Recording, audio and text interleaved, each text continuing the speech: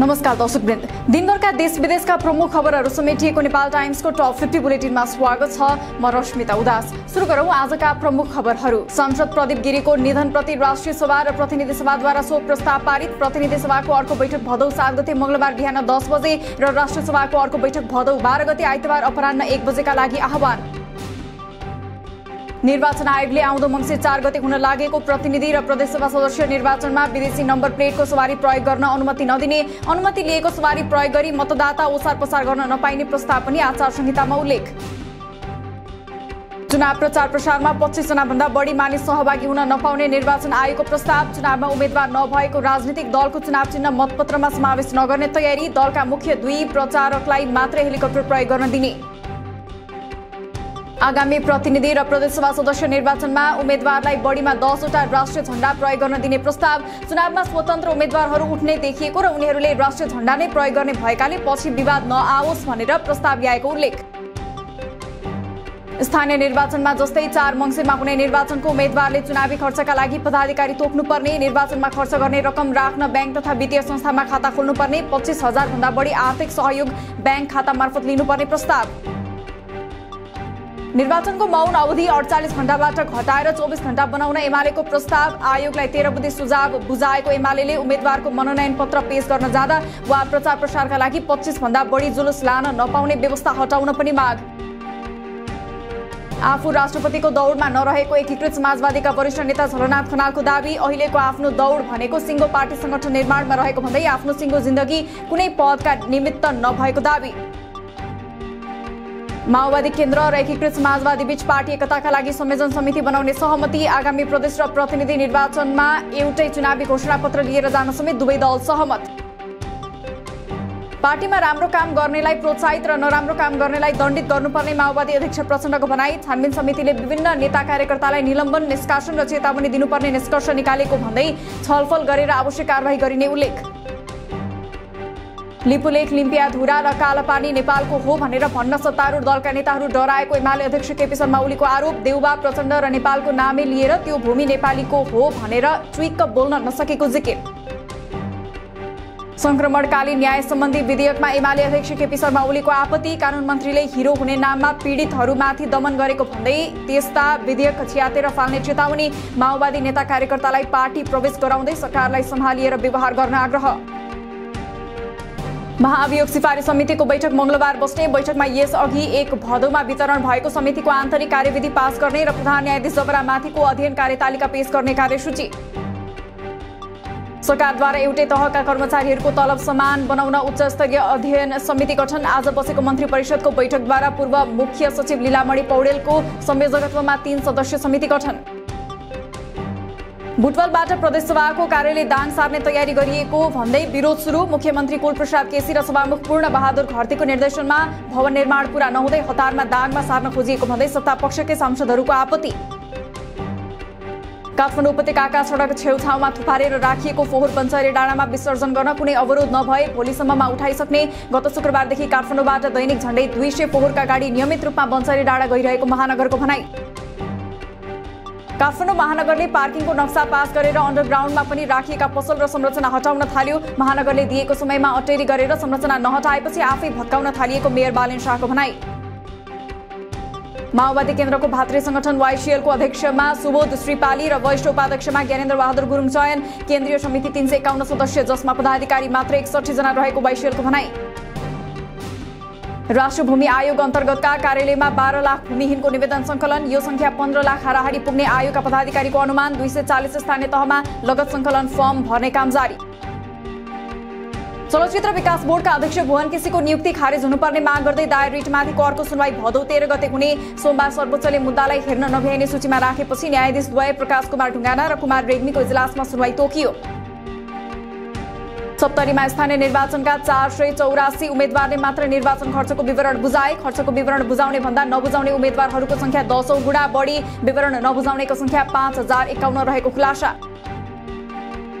नेपालमा पछिल्लो चौबिस घण्टामा पैँसठी सय बढीमा गरिएको परीक्षणमा छ सय अन्ठाउन्न जनामा कोरोना संक्रमण पुष्टि। आजै चार सय छप्पन्न जना संक्रमण मुक्त हुँदा थप एकजनाको मृत्यु। हाल देशभर चार हजार दुई सय छ्यानब्बे जना सक्रिय संक्रमित सरकारसँग सहमति भएपछि महोत्तरी जलेश्वरी निहारीका राजपूतले तोडिन। सत्र दिनदेखिको अनसन डिएनए परीक्षण गर्न अदालत समक्ष जाहेरवालाका तर्फबाट सरकारी वकिलले माग गर्ने र डिएनए परीक्षणलाई विश्वसनीय बनाउने लगायत सहमति। चौध वर्षीय बालिकालाई जबरजस्ती करणी गरेको अभियोगमा दुई भारतीय नागरिक एकतिस वर्षीय ओम बाबु गुप्ता र बाइस वर्षीय चन्दन गुप्ता किर्तिपुरबाट पक्राउ ललाई फकाई एवं डर त्रास देखाई करणी गरेको खुल्न आएपछि पक्राउ गरिएको प्रहरीको भनाई। मृत व्यक्तिलाई जीवित बनाएको भन्दै भ्रम फैलाएको आरोपमा एक पास्टर पैँतिस वर्षीय राजेन्द्र गोतामे बुटवलबाट पक्राउ अप्रमाणित कुरा देखाएर समाजमा भ्रम छर्न नपाइने भएकाले अनुसन्धान गरी दोषीलाई कानुन बमोजिम कारवाही गर्न निर्देशन दिएको प्रमुख जिल्ला अधिकारीको भनाई। नेपाली सेनाको क्याप्टेन हुँ भन्दै हिँड्ने जाजरकोटका सत्ताइस वर्षीय विष्णु गिरी नक्कली कागजात सहित पक्राउ गिरीका साथबाट नेपाली सेनाको सहसेनानी दर्जा सहितको फोटो भएका परिचय पत्र समेतका कार्डहरू फेला। भारतबाट बेच्न भनी नेपाल ल्याइएका पेस्तोल र रिभल्भर सहित सशस्त्र प्रहरी बल बोर्डर आउटपोस्ट सिक्टी मोरङको टोलीद्वारा दुईजना पक्राउ पक्राउ पर्नेहरूमा सुनवर्षी नगरपालिकाका अठाइस वर्षीय आरिफ आलम र उर्लाबारीका उन्तिस वर्षीय नवीन धिमाल रहेको प्रहरीको भनाई। मोटरसाइकलको तेलको ट्याङ्कीमा फल्स बटम बनाएर लागु औषध तस्करी गरेको भेटियो। बिन्दवासिनी गाउँपालिका चार घर भएका जमुना शाह तेलीले रक्सौल नाकाबाट औषधिजन्य लागु औषध खरिद गरेर लुकाएर काठमाडौँ ल्याएको भेटिएको प्रहरीको भनाई। मिर्चया सडक खण्डमा धुवा धुलो र हिलोका कारण आजित स्थानीयले गरेको शान्तिपूर्ण आन्दोलनमा प्रहरीले बल प्रयोग गर्दा दर्जन बढी व्यवसायी घाइते भएको विरोधमा आज मिर्चया बजार बन्द व्यवसायीका शरीरका विभिन्न भागको हड्डी भाँचिने गरी प्रहरीले निर्घात कुटपिट गरेको आरोप। मिटर ब्याजबाट पीडितहरूको समस्या सम्बोधन गर्न सरकारले गठन गरेको कार्यदलले हिजोसम्म उजुरी दिन आह्वान गरेकोमा देशभरबाट दुई हजार त्रिचालिसजनाले दिए उजुरी। मध्य प्रदेशबाट मात्रै एघार सय बयासी उजुरी पर्यो। भोलिदेखि स्थलगत अध्ययन सुरु हुने। प्रदेश पूर्वाधार विकास प्राधिकरणलाई लुम्बिनी प्रादेशिक अस्पताल भवनको ठेकाका तीन शर्तहरू संशोधन गर्न सार्वजनिक खरिद अनुगमन कार्यालयको निर्देशन पीपीएमओले लेखेको पत्रमा उठाइएका विषयहरूमा प्राधिकरणले दिएको जवाफ चित्त बुझ्दो नभएको ठहर। सामाजिक सञ्जालका विभिन्न माध्यमको दुरुपयोग गरी महिला र पुरुषमाथि हिंसा हुने क्रम बढ्दो गाली गर्ने अश्लीलता प्रदर्शन गर्ने वेबसाइट ह्याक गर्ने अनधिकृत रूपमा नग्न तस्विर पठाउने प्रलोभनमा पारेर ब्ल्याकमेल गर्ने लगायत साइबर ब्युरोमा उजुरी पर्ने संख्या बढ्दै।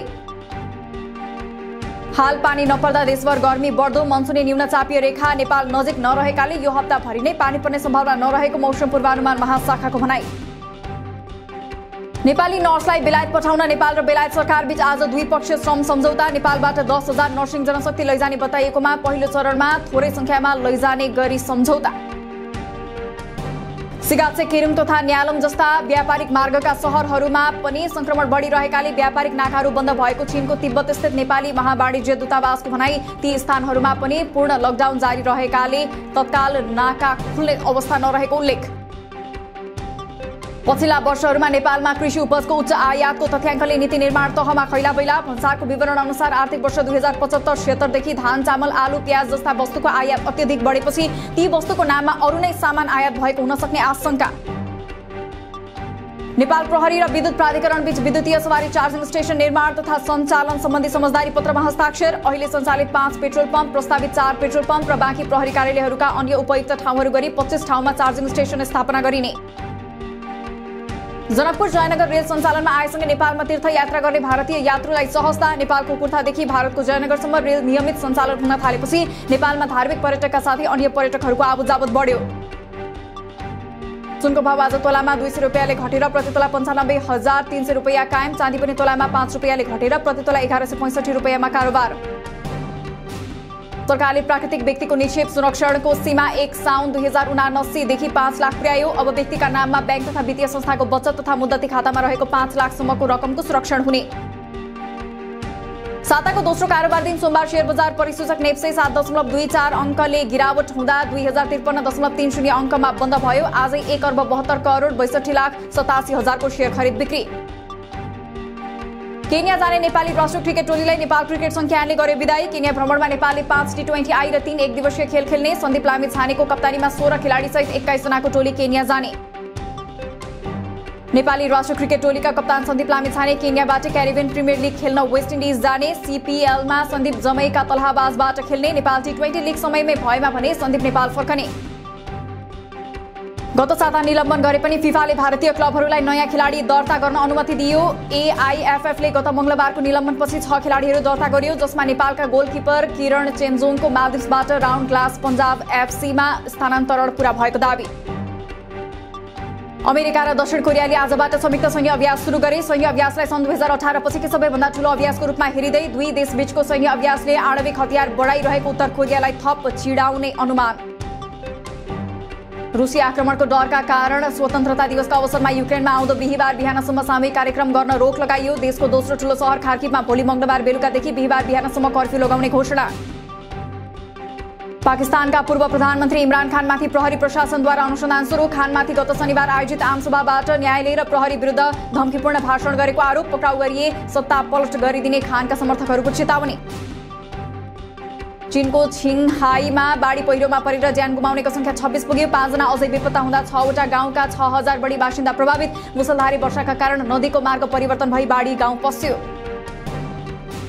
रुसमा ट्रकले रोकिराखेको मिनी बसलाई ठक्कर दिँदा भएको दुर्घटनामा परि सोह्रजनाको मृत्यु तीनजना घाइते सोही दुर्घटनामा मृत्यु हुनेमा ट्रक चालकसहित अन्य मिनी बसमा सवार यात्रुहरू रहेको पुष्टि। सिङ्गापुरले समलिङ्ग यौन सम्बन्धमाथिको प्रतिबन्ध फुकुवा गर्दै कानुनी मान्यता दियो। भारत ताइवान र थाइल्यान्डपछि पुरुष तथा महिला समलिङ्गी तेस्रो लिङ्गी एवं बहुलिङ्गी एलजिबिटीको अधिकारबारे सम्बोधन गर्ने सिङ्गापुर एसियाको पछिल्लो मुलुक बन्यो। र फिलिपिन्समा सबैभन्दा ढिलो साढे दुई वर्षदेखि कोरोना महामारी सुरु भएपछि बन्द रहेका विद्यालय खुले। बालबालिकालाई मास्क सेनिटाइजर र तापक्रम मापन अनिवार्य गरिएको उल्लेख। दिनभरका देश विदेशका प्रमुख खबरहरू समेटिएको नेपाल टाइम्सको टप फिफ्टी बुलेटिन अहिलेलाई यति नै। हामी भोलि फेरि टप फिफ्टी समाचारका साथ उपस्थित हुने नै छौँ। नेपाल टाइम्सको युट्युब च्यानल सब्सक्राइब गरिदिनु भएकोमा र फेसबुक पेज लाइक गरिदिनु भएकोमा धन्यवाद। ताजा खबरहरू Nepal टाइम्सको online portal W W W dot Nepal Times dot नेटमा पनि गएर हेर्न सक्नुहुनेछ। नेपाल टाइम्स हेर्दै गर्नुहोला। नमस्कार।